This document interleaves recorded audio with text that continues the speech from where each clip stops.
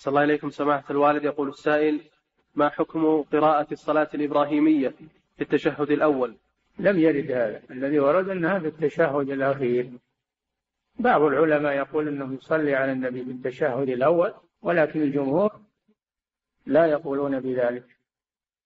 يقف عند قوله وأشهد أن محمدا عبده ورسوله. نعم.